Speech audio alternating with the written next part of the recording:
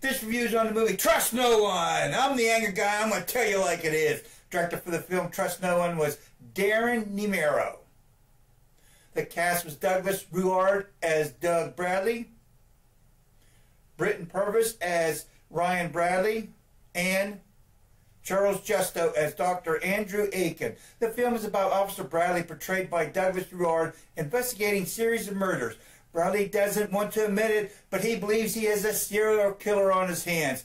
Bradley just can't figure out why the bodies are adding up and there's still no clues to be found.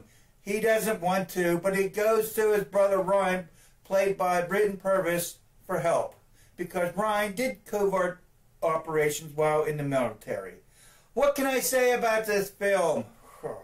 Hey, the aerial shots on the film were beautiful. They really were fantastic. The photography, lighting, sound, choice of locations, and the editing was worth about $1 million, which was the budget. What really drove me crazy was the editing. For example, Officer Bradley goes to a house, knocks on the door, no one answers. He hears glass breaking in in the back of the house. He goes back cautiously with his weapon drawn, hides behind a post with an open bird feeder dangling above him. Next scene, I seen Officer Bradley driving down the road in a Torino. I watched it twice and still didn't understand what the hell happened. Another time, a young lady comes out of the store and hands Officer Bradley a cup of coffee, which he is sitting in his car. After giving him the coffee, she walks away. No problem. Bradley, being disgusted about not catching the vicious killer, he throws the cup of coffee out of his car window. No big deal. Next shot, the camera is in the air looking down at his car as it begins to pull away from the curb. The street is wide and clear of cars, but the coffee cup and spillage magically disappeared. Poof! This one is not so much about editing. It's about director's choice of location. When I seen this scene near the beginning of the film, I knew right then and there I will never see the inside of Officer Bradley's house. Bradley and his wife was in their small kitchen. Guess what? It's Christmas. Where do you put a Christmas tree at? In their small kitchen.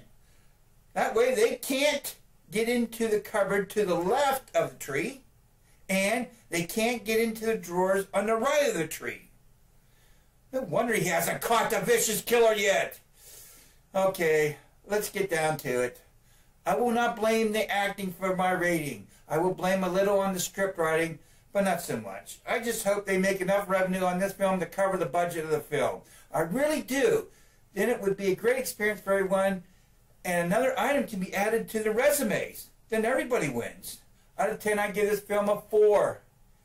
Thank you for watching, and thank you for subscribing. Can I tell you something? I admit this film had a lot of problems, but it didn't make me angry like some other films, so that's why I didn't say this film stinks right at the intro. I restrained myself and wanted to show some respect for the actors. Thank you.